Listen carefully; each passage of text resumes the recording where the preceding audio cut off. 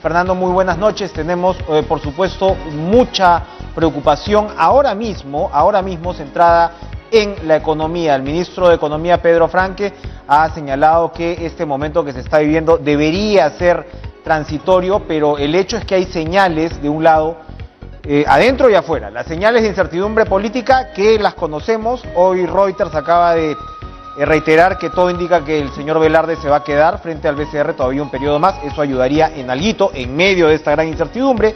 Pero tenemos otro escenario internacional donde eh, la cosa está tan dura como el maíz eh, que comen los pollos y cuyo precio sigue arriba. Entonces estamos en una situación compleja.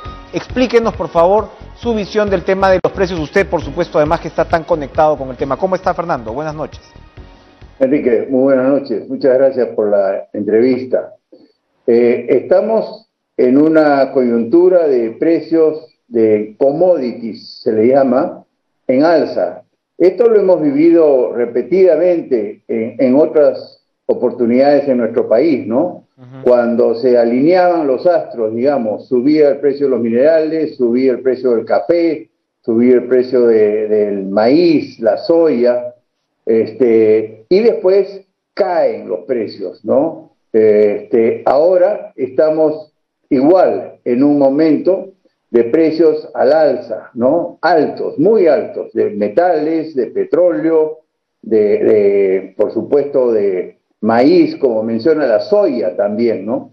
Entonces, eh, sí, tenía que darse un proceso inflacionario que se originó fuera del país, que es este, todos los alimentos y los combustibles que nosotros importamos y todo lo que importamos. O sea, un teléfono celular cuesta más soles ahora que antes, un vehículo cuesta más soles que antes, porque ha habido una, una devaluación, ¿no? Este, eh, aunada al incremento de los precios internacionales, ¿no? Sin embargo, sin embargo, cuando suben tanto los precios del, cobre, por ejemplo, y de los minerales y del anil pescado, y los buenos precios de la uva de mesa eh, y de los productos de exportación, eh, entran muchos dólares al Perú. ¿no? En consecuencia, eso presiona a la baja el tipo de cambio, porque hay muchos dólares. Sin embargo, digamos, el desorden político, la inestabilidad política ha superado esa fuerza eh, bajista del dólar y hoy día tenemos las dos cosas que no debieron darse. Por un lado, alza de los precios de los productos de exportación y simultáneamente devaluación del sol frente al dólar. Eso que lo asuman los políticos, eso es un contrasentido económico y solo la, mala política es capaz de producir este efecto tan perverso para la ciudadanía. Eh, vemos, por ejemplo, ahora mismo que en Chile, donde también se vive una incertidumbre eh, política importante, ¿no? Eh, luego de ser considerado, digamos, un país representativo ¿no? Del, modelo económico, el dólar también está subiendo mucho. Sería un caso más o menos similar al, al, peruano. Exacto, exacto. Eh, hoy día, si la política estuviera en calma, eh, y no necesariamente eh, en perfecta calma, ¿no? Porque nosotros hemos tenido durante 25 años, digamos, este, alborotos y problemas políticos, pero nunca tan intensos como los de hoy día, como los de estos días, ¿no? Y con vacancias presidenciales, con cambios de gabinetes y todo lo demás, el dólar se mantuvo estable durante veintitantos años, así como la inflación. Es correcto. Pero cuando, cuando la convulsión es tan extrema como la que estamos viviendo el día de hoy, ya no hay fuerza en el mundo que pueda contener la devaluación del sol. Es una pena, eso denota una ignorancia absoluta ¿no? de la clase política respecto de su impacto en la economía peruana. ¿no? Una pena porque la, la macroeconomía eh, eh, es muy sólida en el Perú, pero ya no ha resistido aguanta. tanta convulsión política. Y efectivamente, como usted señala, los políticos responsables tendrán que asumir su, su, parte, valga la redundancia, de responsabilidad. Pero a ver, Fernando, usted ha sido muy crítico, de las como muchos, de las medidas eh, eh, recién iniciales que estamos viendo en este gobierno, gabinete irregular, nombramientos cuestionados, etc., etc.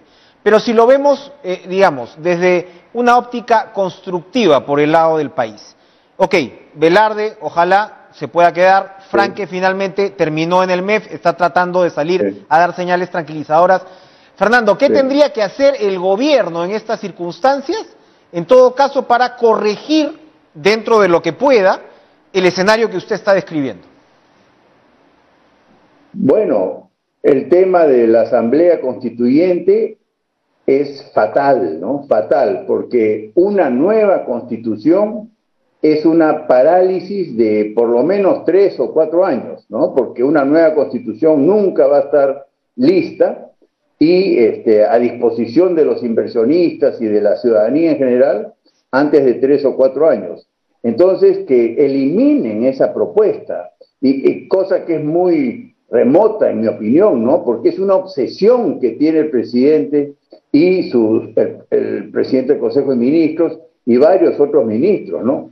Es lo más absurdo que puedo yo eh, escuchar en estas circunstancias, ¿no? Este, yo diría que ese es el mayor elemento de incertidumbre que es un invento político, ¿no? Porque la Constitución sí se puede modificar en todos los aspectos que pudiera ser necesario. Sin embargo, anunciar una, una medida este, que de alguna manera desconozca el marco constitucional y que eh, implique un borrón y cuenta nueva constitucional, es lo más inestable, lo más inseguro, lo más contraproducente. ¿no? yo, yo, diría que esa es la medida, la medida eh, más obvia ¿no? para evitar todo este desmadre económico. Claro, y, y, directo. Fernando, vamos a ir a una pausa, pero yo quiero eh, pedirle a usted una reflexión. Precisamente usted viene del sector agroexportador como tal, es un empresario que se metió en política y ahora la agricultura es precisamente un sector crucial, ¿no? Entre quienes por supuesto, están con el modelo y quienes quieren modificarlo, que también ven ¿no? en, la, agricultura, con razón en realidad, eh, un sector que eh, tiene que salir adelante, que tiene que ser impulsado. Hay que incluir además al pequeño agricultor en esta cadena de valor. ¿Cómo hacemos? Vamos a la pausa, me lo responde a la vuelta. Fernando Sillonis, la proliferación de la corrupción y las fallas de la descentralización son temas que usted toca regularmente, pero quiero escoger eh, el, tema del el agro para estos minutitos que nos quedan, ojalá podamos seguir hablando de los otros temas. Eh, precisamente porque la agricultura y el agricultor ahora mismo eh, se ha hecho evidente, pues, ¿no? Que este tiene que estar incluido en el mayor bienestar, en el mayor desarrollo, y claro, hay dos formas de verlo, ¿no? Hay quienes se van en contra de la agroexportación, que ya sabemos todo el bien que le ha hecho a nuestro país en términos económicos, y hay quienes señalan que se puede, ¿no? Eh, de repente ajustando de alguna manera este modelo, realmente traer mucho más bienestar a este sector fundamental de nuestro país. Quiero, por favor, conocer su opinión. Sí, en el Perú hay, digamos, simplificando mucho las cosas, dos agriculturas, ¿no? Una agricultura exitosa, competitiva, rentable, exportadora de frutas y hortalizas, y otra agricultura precaria, pobre, este, muy poco competitiva, que es la agricultura familiar, como le llaman, o la pequeña agricultura, pero sobre todo la agricultura de la sierra y de la Amazonía. Ahora, ¿por qué no son competitivos? Yo que he caminado tanto por la sierra y la selva y conversado tanto con los pequeños productores pobres, y precarios, ellos no tienen agua, eh, Enrique, no tienen agua como tenemos las empresas que producimos frutas y hortalizas de exportación. Eh, aunque estemos en la costa, nosotros tenemos acceso a agua de pozos o todos tenemos reservorios, pero tenemos agua todo el año, porque de eso se trata, de tener agua todo el año y por supuesto tecnología de riego y fertilización. Eso no lo tienen los pequeños productores. Entonces, el gobierno tiene que concentrarse y en eso valgan verdades. El nuevo ministro de Agricultura, el ministro de Maita, eh, habla de siembra y cosecha de agua y de reservorios y de tecnificación de riego. Entonces, este, está dando un buen mensaje, aunque todos querrán ver eh, malos mensajes en los ministros actuales. Pues en honor a la verdad, el ministro Maita está dando buenos mensajes.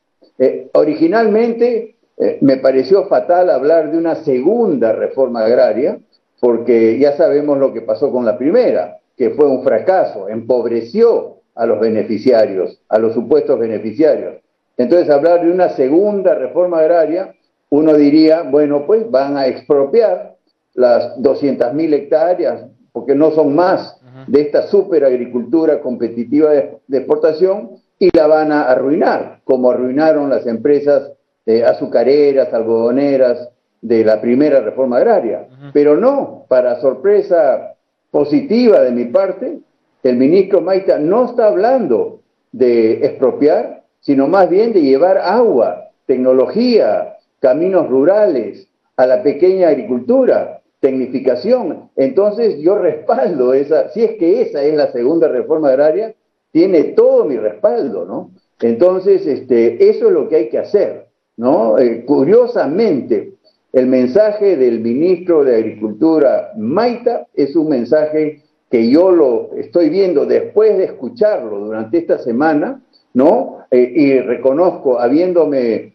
preocupado mucho por la expresión inicial de segunda reforma agraria sin haber explicado a qué se refería, ahora que se va explicando día a día, estoy totalmente de acuerdo. Vamos a apoyar y tecnificar a la pequeña agricultura para que siga el modelo exitosísimo de la agricultura exportadora del Perú. Totalmente de acuerdo. Fernando Sillones, refrescante perspectiva, gracias, porque siempre es bueno sorprenderse un poquito ¿no? Eh, y, poder poner puntos positivos sobre la mesa, aún en circunstancias como las que vivimos. Gracias, Fernando Sillones, por, por acompañarnos esta, esta noche.